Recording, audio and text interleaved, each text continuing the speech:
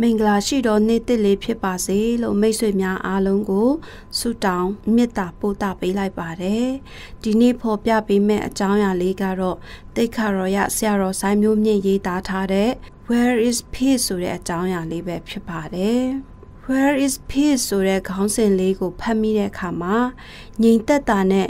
ငြိမ်ချမ်းသာပါကွာတယ်လေဆိုတာကိုဆင်ခြင်မိပါတယ်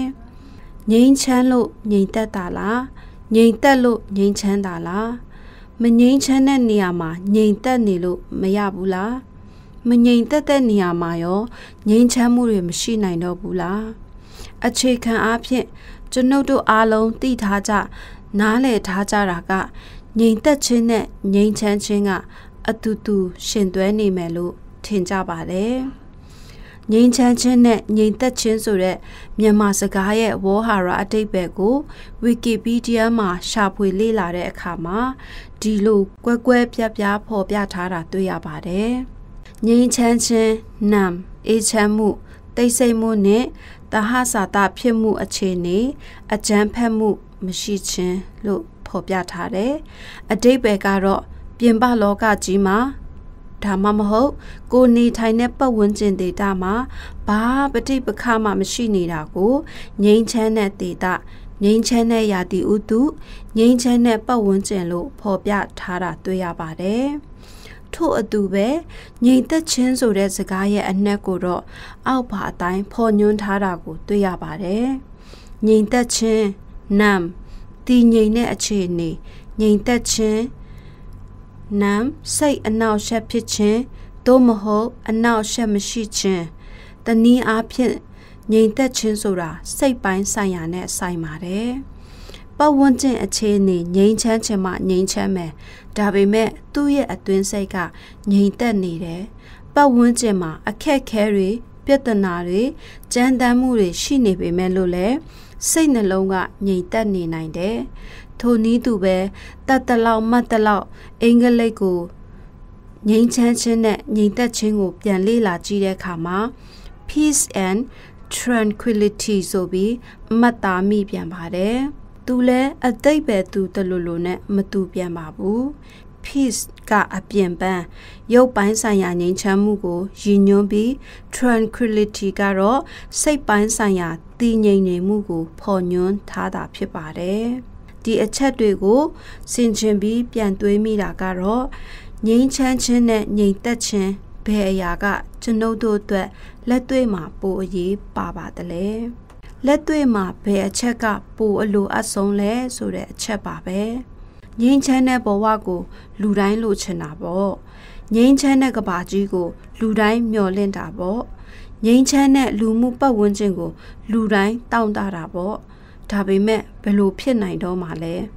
တနေ့တခြားကြားရမြင်ရတဲ့သတင်းတွေကို သုံးသပ်ကြည့်ရင်ကဘာကြီးငြိမ်းချမ်းမဲ့နေ့ကို ပြန်မြင်ရဖို့ခက်ခဲလာပါပြီ ကိုနေထိုင်တဲ့တိုင်းပြည်ငြိမ်းချမ်းဖို့နေပါလာနေပါပြီအချင်းချင်းစစ်ဖြစ်ရတာနဲ့နေ့စဉ်လူရဲတက်ဖြတ်နေရတာနဲ့တဘာဝဘေးဒုက္ခအမျိုးမျိုးကြုံတွေ့နေရတာနဲ့ဘယ်လိုလုပ်ငြိမ်းချမ်းနိုင်တော့မှလဲငြိမ်းချမ်းရေးကျိုးငှက်တွေလည်းပုံထဲမှာတောင်မပြပြင်းတော့ပါဘူးငင်းချမ်းရေးရဖို့စူးစမ်းနေတဲ့သူတွေကိုယ်တိုင်ကိုက အတ္တတွေမာနတွေလောဘဒေါသတွေနဲ့မဟုတ်ပါလား ဒါဆိုပမာလဲငင်းချမ်းရေးဘယ်တော့လဲငင်းချမ်းရေးပတ်ဝန်းကျင်ငြိမ်းချမ်းမှစိတ်နှလုံးငြိမ်သက်ခြင်းရှိရမယ်အခြေအနေတွေအားလုံးငြိမ်းချမ်းနေမှငြိမ်သက်ခြင်းကိုခံစားရမယ်ဆိုရင်ဒီတသက်မမျော်နဲ့တော့လို့သာပြောရမယ့်ကိန်းစိုက်နေပါတယ်ရှင်ယောဟန်ခရစ်ဝင်အခန်းကြီး14အငယ်29မှာသခင်ယေရှုခရစ်တော်က ငြိမ်သက်ခြင်းကိုတင်တို့၌ငါထားခဲ့၏ငါဤငြိမ်သက်ခြင်းကိုတင်တို့အားငါပေး၏လောကီသားတို့ပေးတဲ့ကဲ့သို့ငါပေးသည်မဟုတ်တင်တို့စိတ်နှလုံးပူပန်ခြင်းစိုးရိမ်တုန်လှုပ်ခြင်းမရှိစေနဲ့လို့တပည့်တော်တွေကိုမှာကြားခဲ့ပါတယ်ဒီနေရာမှာခရစ်တော်ကညီသက်ခြင်းကိုပေးခဲ့တာဖြစ်တယ်ငြိမ်းချမ်းခြင်းကိုပေးခဲ့တာမဟုတ်ပါဘူး ငြိမ်သက်ခြင်းမရှိတဲ့သူဟာငြိမ်ချမ်းတဲ့အခြေအနေငြိမ်ချမ်းတဲ့ပတ်ဝန်းကျင်ငြိမ်ချမ်းတဲ့နေရာမှာရှိနေရင်လည်းသူဟာမငြိမ်ချမ်းနိုင်ပါဘူးအခက်မသိရင်ငြိမ်ချမ်းနေတဲ့ပတ်ဝန်းကျင်ငြိမ်ချမ်းနေတဲ့အခြေအနေတွေကိုတောင်ပဋိပက္ခတွေဖြစ်ပွားအောင်လုပ်နိုင်ပါတယ်ငြိမ်သက်ခြင်းရှိနေတဲ့သူက အခြေအနေတွေဘလောက်ခက်ခဲကြမ်းတမ်းနေပါစေဘလောက်ပဲပဋိပက္ခတွေဖြစ်နေပါစေတည်ငြိမ်နေပါတယ် လှုပ်တဲ့နာကိုဆက်ပြီးလှုပ်ဆောင်နေနိုင်ပါတယ်။ယုံကြည်ခြင်းကိုဆက်ပြီးရှင်သန်စေပါတယ်။ရှောက်နေတဲ့ခြေလမ်းတွေကိုရဲရဲရင့်ရင့်ရှေ့ဆက်ရှောက်နိုင်ပါတယ်။ဒီနေရာမှာတခုတတိပေးချင်တာကငြိမ်သက်နေတဲ့သူကဘသူတည်တည်ငသေးမှရင်ပြီးရောဆိုတဲ့စိတ်မျိုးရှိတဲ့သူမဟုတ်ပါဘူး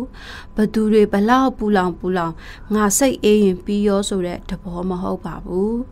စစ်မှန်တဲ့ငြိမ်သက်ခြင်းရှိတဲ့သူက တည်ငြိမ်ရင်ကြက်ခြင်းနဲ့အတူလှုပ်တဲ့နာဆက်ပြီးတည်တည်ငြိမ်ငြိမ်နဲ့လှုပ်နေတာယုံကြည်ခြင်းခြေလမ်းတွေရှေ့ဆက်နေတာဖြစ်တယ်။ငြိမ်သက်ခြင်းမရှိတဲ့သူတွေကငြိမ်ချမ်းခြင်းကိုမဖော်ဆောင်နိုင်ပါဘူး။ငြိမ်သက်ခြင်းမရှိတဲ့သူတွေကငြိမ်ချမ်းခြင်းရဲ့အနှစ်သာရအမှန်ကိုလည်းနားမလည်နိုင်ပါဘူး။ဒါကြောင့်လဲဒီကနေ့ငြိမ်သက်ခြင်းနှလုံးသားမရှိတဲ့သူတွေ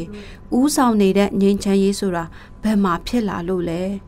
ဒီကနေ့ကဘာအရရက်မှာဖြစ်ပွားနေတဲ့စစ်ပွဲတွေအားလုံးရဲ့အကြောင်းပြချက်ကငြိမ်းချမ်းရေးအတွက်ဖြစ်တယ်လို့ပြောနေကြတယ်ဆိုတာတတိပြုမိစေချင်ပါတယ်စစ်မှန်တဲ့ညီသက်ခြင်းရှိတဲ့သူတွေကတော့ခရစ်တော်ပေးတဲ့ညီသက်ခြင်းကိုရထားတဲ့သူတွေဖြစ်တယ်။ငြိမ်းချမ်းတဲ့အခြေအနေမှာရှိနေလို့ငြိမ်သက်တာမဟုတ်ဘူး။ငြိမ်သက်ခြင်းရှိနေလို့အခြေအနေတွေအားလုံးကိုငြိမ်းချမ်းစွာခံယူတည်ဆောက်ပေးနိုင်တာဖြစ်တယ်။ ခရစ်တော်ကသူ့စီမှာရှိတဲ့ငြိမ်သက်ခြင်းကိုယုံကြည်သူတွေကိုပေးနေတာပါသူ့စီမှာရှိတဲ့ငြိမ်သက်ခြင်းကအံ့ဩဖွယ်ဖြစ်တယ်ဒါကြောင့်လဲသူ့ရဲ့နာမတော်က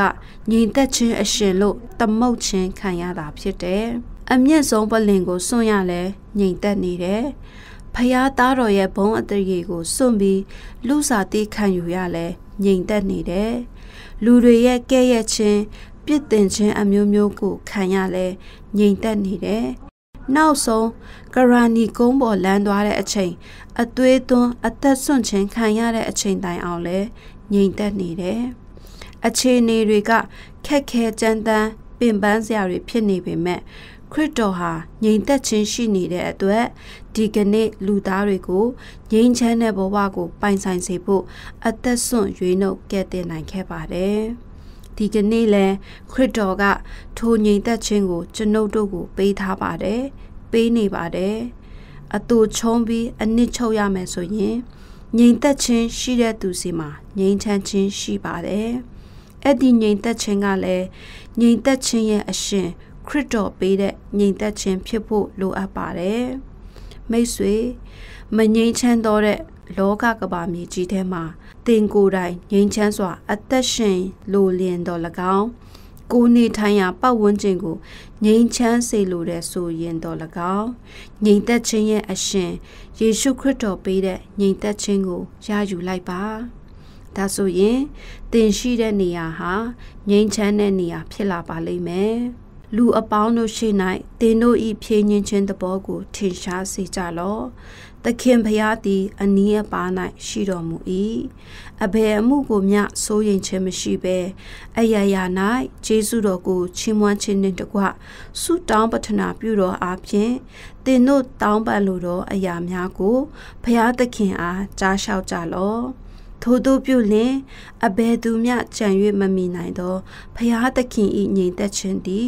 ယေရှုခရစ်အားဖြင့်သင်တို့၏စိတ်နှလုံးတို့ကိုဆောင်မလိမ့်မည်။ဖျားသခင်သည် အချိန်တိုင်းမှာကောင်းမြတ်တော်မူ၏။ဟာလေလုယာအာမင်။သခင်ယေရှုခရစ်နှင့်ငါတို့အဖဒီဟုတော်ဖျားသခင်အထံတော်က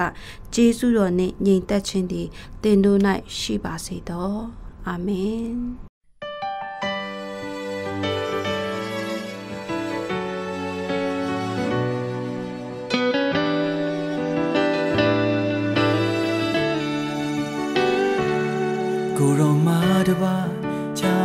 သူမဖြစ်နိုင်ရာကိုတော်သာကျွန်တော်ဤသက်ကျွန်တော်ဤဘဝကိုပေးပိုင်သူကျွန်တော်ရဲ့ကြံစီမျော်လင့်ခြင်းများနဲ့ကျွန်တော်ရဲ့ဝိညာဉ်ကဲတင်ခြင်းခွေးတွက်ကိုတော်မှာတပါချဘဲသူမဖြစ်နိုင်ရာကိုတော်မှာတပါချချဘယ်သူမပေးနိုင်ရ ကိုရောသာကျွန်ုပ်ဤသက်ကျွန်ုပ်ဤဘဝကိုပေးပိုင်သူကျွန်ုပ်ရဲ့ကြံစီမျော်လင့်ခြင်းများနဲ့ကျွန်ုပ်ရဲ့ဝိညာဉ်ကဲတင်ခြင်းခွင့်အတွက်ကိုရောမာတပါချဘယ်သူမပေးနိုင်ရသင်မရဲ့အရေးလွမ်းမို့ကြိုက်ထဲသောရှောက်ခဲရစဉ်ဝေကာခဲ့ပြီမန္တရဲ့တကုတ်ကြောခွေလောင်ကြိုင်မှာ ကိုတော့ကဲနှောင်းရွယ်ခဲ့လေပြီစာငယ်ဝိညာဉ်တွက်အေးမြရေးတစ်စက်တန်တာမိစဉ်ကိုတော့ပေးပြီ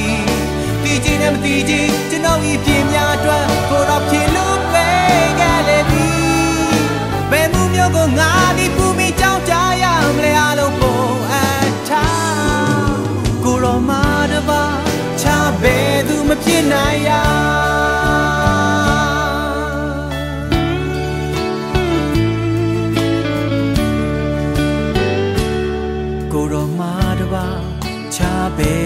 ရှိနိုင်ရကိုရောသာကျွန်ုပ်ရဲ့ဖြစ်ကျွန်ုပ်ဖြစ်များကို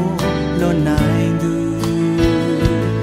ကျွန်ုပ်ရဲ့လွန်ကျူးခြင်းအလွန်ဆုံးရောက်ခြင်းအတွက်အသွေးသွန်ခဲ့ရှာဂရာနီကုန်းထမ်းမှာကိုရောမာတပါချဘယ်သူမရှိနိုင်ရ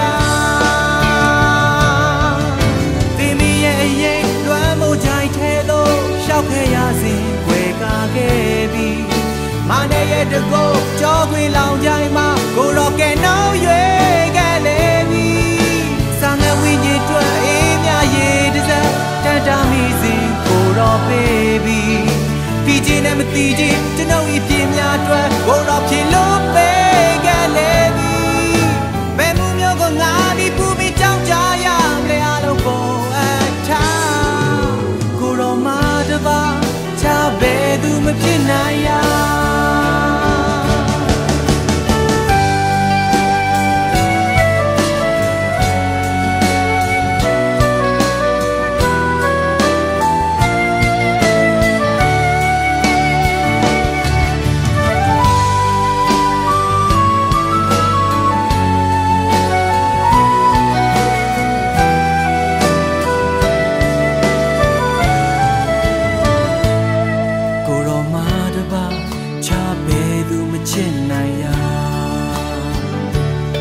ကိုရောသာကျွန်ုပ်ရဲ့ဖြစ်ကျွန်ုပ်အဖြစ်များကို